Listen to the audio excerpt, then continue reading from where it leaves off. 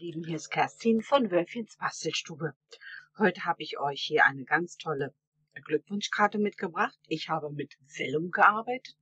Vellum Quick Tick Glückwunschkarte, so habe ich mein, meine Karte hier genannt. Und die kann man wirklich für jeden Anlass äh, einsetzen. Glückwünsche kann man zu jedem Anlass äh, aussprechen. Also von daher, ja, fand ich das hier wirklich ganz toll und ist auch nicht so viel Aufwand, ist ganz schnell gemacht. Und wie die gemacht wird, das zeige ich euch jetzt. So, ich habe mir schon mal ein Schmierpapier hier untergelegt und habe mir hier auch ein Spruch ausgestanzt. Herzlichen Glückwunsch. Das finde ich richtig schön mit diesen äh, eingestanzten äh, Buchstaben. Und die sind von, wie soll es auch heute sein, Charlie und Paulchen. Herzlichen Glückwunsch. Also das sind die Standsformen, Grußtexte, aber wie gesagt, ich schreibe euch alles wie immer unten in die Infobox. So, es geht jetzt hier um unsere Grundkarte. Die hat ein Maß von 21 mal 14,85. In der Mitte gefalzt bei 10,5. Das ist die Grundkarte. Und da habe ich mir hier einen Prägefolder rausgenommen. Den könnt ihr ja nach eurer Wahl nehmen. Ich habe mir hier das mit der schönen Rose und so könnt ihr das vielleicht bisschen besser sehen. Genau. Und äh, ich habe mir Vellumpapier zugeschnitten. Das hat ein Maß von 10 cm mal 14,4 cm und habe dann äh, mir das selber auch mit einem weißen Farbkarton ausgestanzt, äh, zugeschnitten, Entschuldigung, und habe das dann beides so übereinander gelegt und durch die Stanzmaschine gedreht. Da ist das, da wird das Vellumpapier nicht so verletzt. Es ist wirklich eine schöne Prägung dann da drin. Und das hier kann man ja ganz wunderbar auch für äh, die nächsten Karten verwenden. Entweder lässt man das so weiß oder man koloriert es. Wir wollen aber hier kolorieren, das war das Stichwort. Und ich habe mir dazu einige Stempelkissen rausgesucht. Einmal hier in ganz hellem Lila, dann in Amethyst. Also das ist Fräse-Lila, so heißt das, Amethyst. Und hier habe ich einmal Orchideenlila. Also drei verschiedene Lila-Töne. Und ja, jetzt legen wir auch los. Ich fange mit der hellsten Farbe an, hier mit dem Fräse-Lila und benetze meinen Blending-Pinsel und gehe hier oben ganz einfach so schön leicht hier über mein Vellumpapier und färbe mir hier das Vellumpapier ein.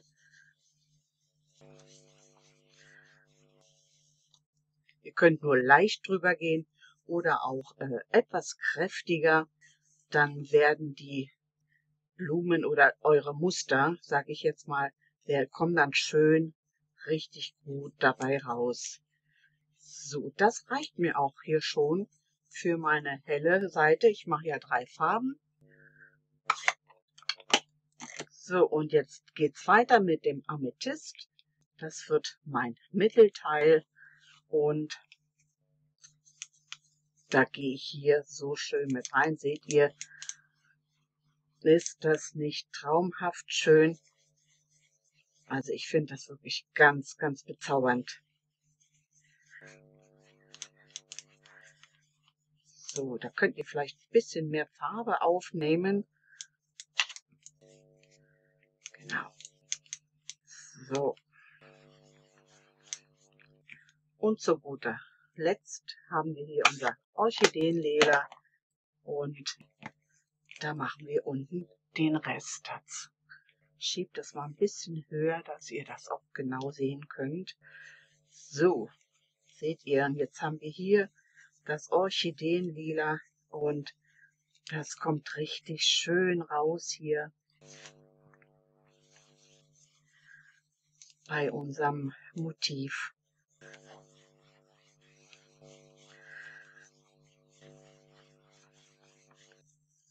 Vielleicht habt ihr genauso wie ich so viel Prägefolder rumzuliegen und ja, man benutzt die eigentlich ganz selten. Also ich jedenfalls benutze die sehr selten.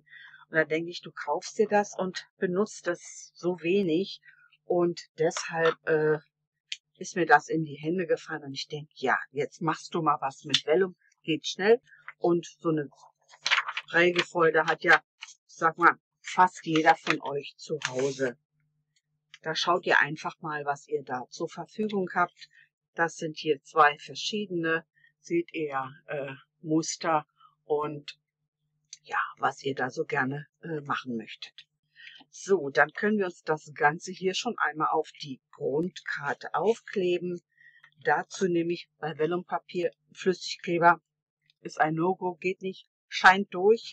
Und hier nehme ich so einen Kleberoller und den äh, setze ich mir hier in der Mitte so drauf. Genau. Und hier am äußersten Rand gebe ich hier nur so eine kleinen so eine kleinen Punkte. So, und dann setze ich uns unser eingefärbtes Vellum hier einfach so schön mit drauf. Genau. Bisschen andrücken hier. Das Ganze seht ihr. Und ihr seht keine Klebestellen hier. Und das ist schön befestigt.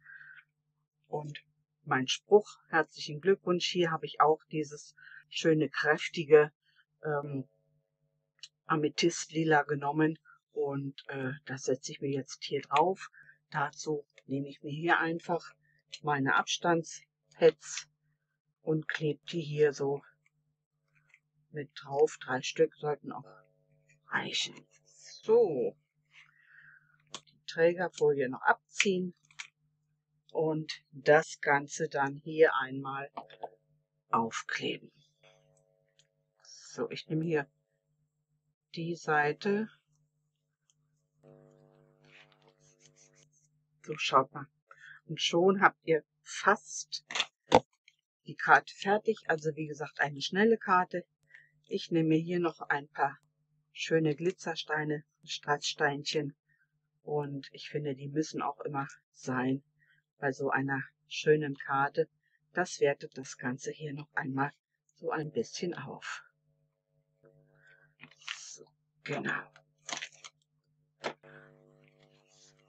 Schaut mal, ist das nicht wunderschön? Das ist doch traumhaft schön, oder? Ja, meine Lieben, das war heute wirklich eine ganz schnelle Karte, aber wunderschön gearbeitet. Manchmal ist auch weniger mehr, ne? So, dann wünsche ich euch ganz viel Spaß beim Nachbasteln und dann sehen wir uns beim nächsten Video wieder. Halt, stopp! Wenn ihr meinen Kanal noch nicht abonniert habt, dann macht das doch jetzt. Dann verpasst ihr auch kein Video mehr und der Kanal ist kostenlos. Aktiviert dazu die kleine Glocke, dann bekommt ihr jedes Video aufgeploppt bei euch. Ich sage dann Tschüss, bis zum nächsten Video, eure Kerstin. Tschüss!